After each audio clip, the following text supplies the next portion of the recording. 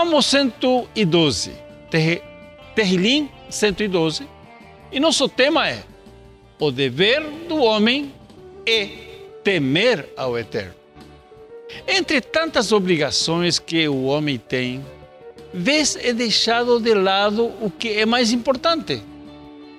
O salmo inicia com louvor e promessas para o homem que cumpre com o seu dever primordial. Qual? Temer ao Eterno. O inculto diz nossos sábios não teme ao pecado. Razão porque se enreda, não cresce em conhecimento e méritos diante do Eterno.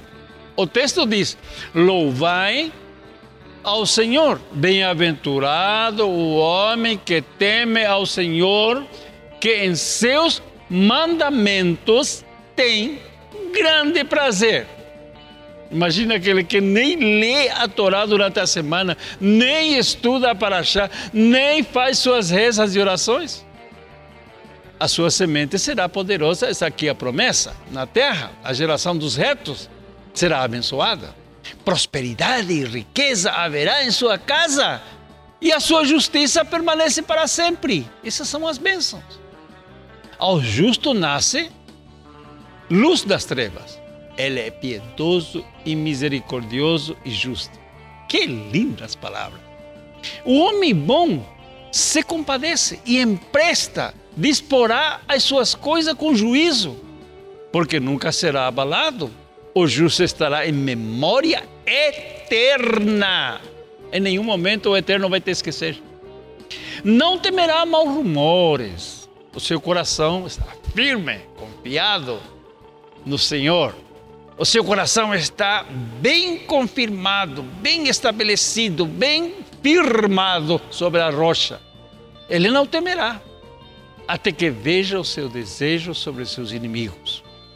Ele espalhou Deus aos necessitados, a sua justiça permanece para sempre, a sua força se exaltará em glória. O ímpio ouvirá e se entristecerá será rangerá os dentes e se consumirá.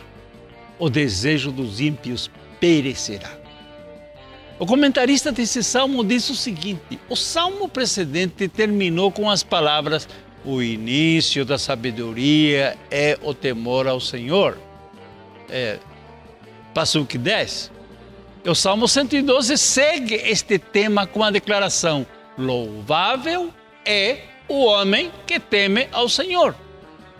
E procede para descrever essa boa fortuna, diz Marvin.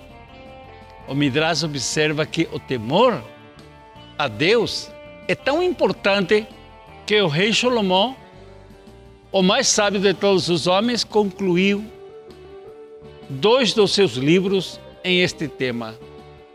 A graça é falsa e a beleza vã uma mulher temente a Deus, ela será louvada. Não só a mulher, mas também os homens. Provérbio 31, 21. A essência da questão, quando tudo já tenha sido considerado, temer a Deus e guardar seus mandamentos, pois é o dever total do homem. Eclesiastes 12, 13 as letras iniciais do versículo deste salmo: O homem temente a Deus cumpre meticulosamente cada ditado da Torá, da primeira e a da primeira à última letra da lei. Não existe dever maior na vida das pessoas do que este privilégio de servir a Deus, honrando-o em todo o tempo, não pelas bênçãos que dessas atitudes advêm, mas porque merece o nosso respeito e obediência. Pense nisso. O dever do homem é temer ao Eterno, é respeitar, é adorá-lo, é servi-lo, é fazer a sua vontade, é difundir e, entre tantas coisas, contribuir financeiramente para manter a exposição de sua Torá. Seja um mantenedor da TV Anusim Brasil, que está fazendo esta grande obra de divulgação. Yohanan Shaul, Shalom.